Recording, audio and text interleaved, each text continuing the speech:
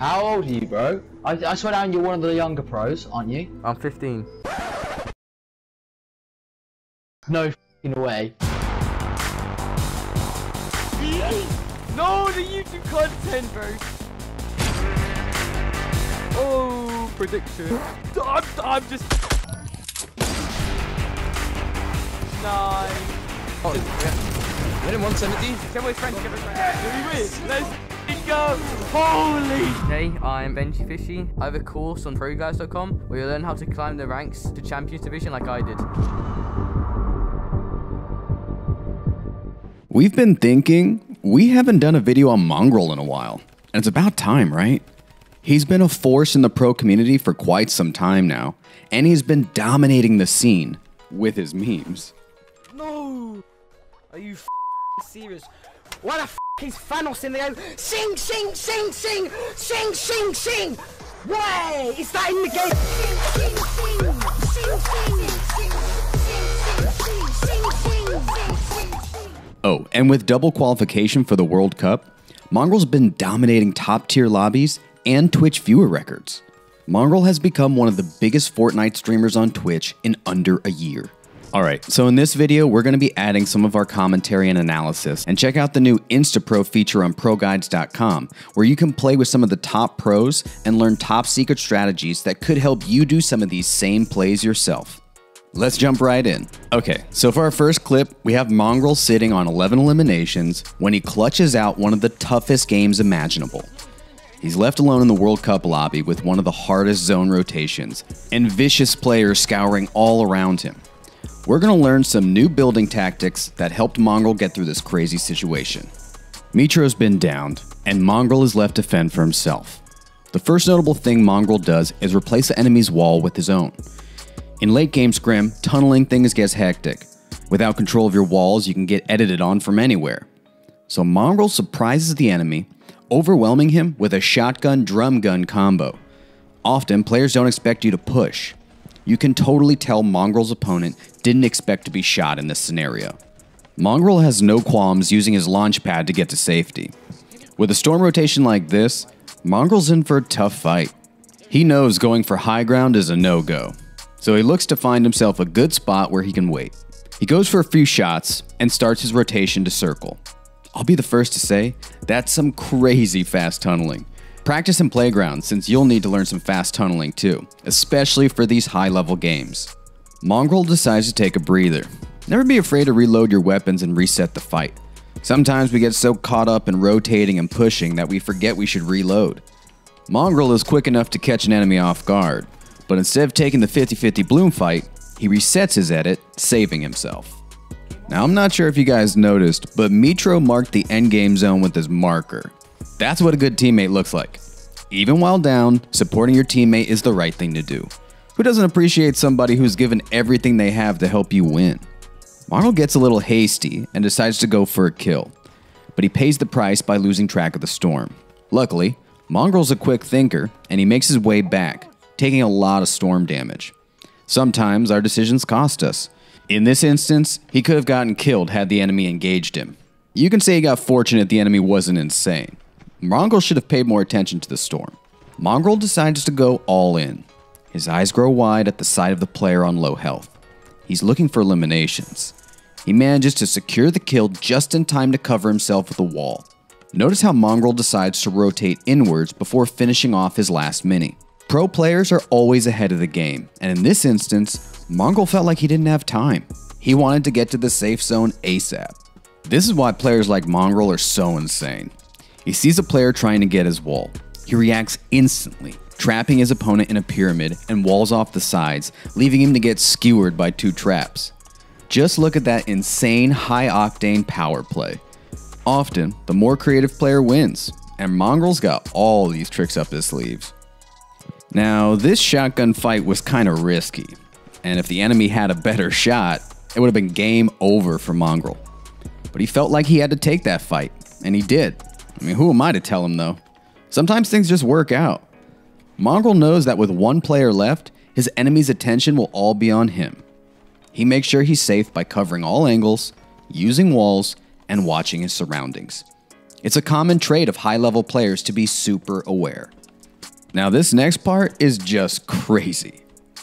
Mongraal gets stuck under his own buildings and has a storm on his tail. The enemy can easily pre aim and wait for Mongraal to edit and then pop him in the face. Instead of panicking and pushing forward, Mongraal decides to edit through and place a wall to block him off. Then proceeds to the right for a high ground retake. What an amazing play. Mongraal has an amazing spot on height. Things seem to be easy from here. However, Mongraal's not exactly healthy. He's got 64 health. One good pump shot could seal the deal, but he maintains composure. He uses a floor edit to land chip damage on the guy below, securing the game. Alright, there are a few things I want you to take away from Mongraal's play here. Number one, make sure you own the walls. Make sure you place every wall around you, especially when you're turtling. Failing to do so can cost you the game. I mean, who wants to get jumped on out of nowhere? Number two, pay attention to the storm. Mongraal could have easily rotated another way, but decided to go for the kill while the storm was just inches away. These types of situations can cost you the game. And number three, practice makes perfect. Many of Mongraal's techniques seem out of this world, but trust me when I say nothing is easily gotten. Mongraal practices all of his building techniques, edits, and aim for hours on end. So take that advice and go into playgrounds or real games and practice nonstop. Let's take a look at yet another incredible clutch from Mongraal in the WC qualifiers. This time, we're going to learn an effective pre-aiming method as well as Mongraal's 200 IQ decision-making tactics. He pops off again in another solo versus duos. The sheer pressure placed on him is immense. Mongraal starts off in the sky with his teammate down yet again. Mitro, stop dying please. There are 22 players left, and he has a solid loadout with all the essentials an AR, shotgun, rocket launcher, and slurps. Instead of landing on high ground where he can get contested, he chooses an angle to the side in the safe zone. Mongraal knows, as a solo, it isn't worth fighting 1 versus 2 for height. He sees an opportunity for a kill and nearly manages to claim it. However, he loses the opportunity and is forced to withdraw. Mongraal knows that pushing in this scenario is sure to get him killed. Always look at your surroundings. Don't just push recklessly. We've seen time and time again what happens to impulsive plays. It doesn't end well. Don't do it. In one of our last videos, we showed how playing the circle as the last one to rotate is very advantageous. Here, we see Mongraal display it in action. He sets his crosshairs to pre-aim on a target and smashes him with a 90 shot. Seems that player didn't learn how to tunnel correctly. Mongraal hits his enemy from behind with a 200 IQ Kovaak's flick. Now, there's no way he could have hit that without Kovaak's. Let's be real here. Mongraal is forced into a sticky situation and has to make a tough call either take a gunfight or push circle. He manages to get a stare up in his box with a trap and non stop rotates to the zone. He makes it to zone with 21 health. By this time, most of us would have been shaking in our boots. The ability to emerge victorious in this circumstance is a wonder. Look at this lucky break Mongraal gets. He sees two players pushing into zone, and pop pop. There goes all his health worries. He's able to salvage up materials and is now set to dominate. In endgame rotations, getting kills is crucial to maintaining your ability to win. Mongraal puts many Fortnite fundamentals into play here with his rocket launcher. Right as you shoot, make your move. With a single rocket, he earns the inner angle and breaks his enemy's box. I love how he always goes for chip damage after he shoots. This is a widespread practice used by a lot of pros and is the hallmark of a good player. I'm not sure if you noticed, but after Mongraal got the enemy low, he waited for him to make his move and then was ready for a pop shot. Again, we see another instance of rocket launcher fundamentals. He shoots his rocket, then goes for high ground. Now, this enemy is undoubtedly a good player because he doesn't want to surrender high ground to Mongraal. Persistence is the key. You can tell Mongraal doesn't want to give up the high ground, and you'll see it pay off in a few seconds. He waits to reload his rocket, and as he's about to go for a shot, his enemy jumps down on him. Luckily, Mongraal is a top player and can counter build quickly. Always be ready for anything. Much of Fortnite is surprise attacks, and you need to be ready for them. Fortnite is a very fast paced game, and players like Mongraal excel at this sort of thing. Mongraal is challenging a full fledged build fight. He makes smart moves by shooting and then backing off, until finally, he wins height. Mongraal wins the build fight because, well, he's Mongraal. And he's got that rocket launcher. With only three players left in high ground, Mongraal knows this is his game. He's free to rain down from above, and there it is. Mongraal isn't just a 14 year old prodigy, he's more than that. He's able to turn some of the best players into mincemeat with ease. On the bright side, we have a few takeaways from this clip. Number one, be patient. We saw Mongraal in a situation where he could have easily W keyed to get a kill. But top players know certain kills just aren't worth it. You always need to gauge your situation and see whether an action will end well. Number two, utilize your loadout effectively. Mongraal showed us how using his rocket launcher can have incredible benefits. Don't just shoot and then reload. Shoot, make your move, or go for chip damage. The rocket launcher is one of the most powerful guns in the game. Use it if you have to. And number three, position yourself in a safe spot. Mongraal could have easily gone for high ground, but he chose to land at the side. That way he's not the focus and can reserve his materials.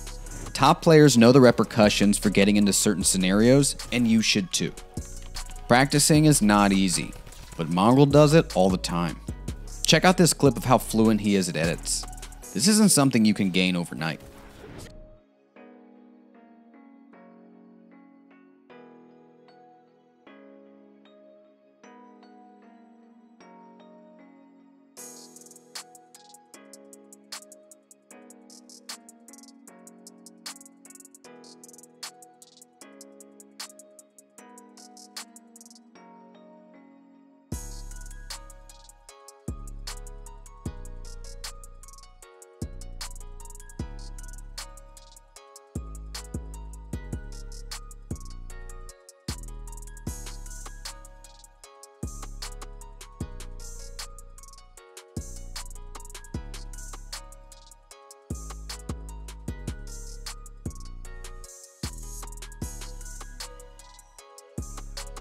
So as you guys can see, Mongraal is easily a top tier player with skills unmatched. Clutching two solo versus duo games in a qualifier tournament is not an easy task. There are many things that we can learn from players like Mongraal, from crazy builds and insane plays to great decisions. I really hope you learned something from this video, and remember, you can be like this too with some practice. See you all next time. If you want more great Fortnite tips and tricks, make sure to check out ProGuides.com. As always, Thanks for watching.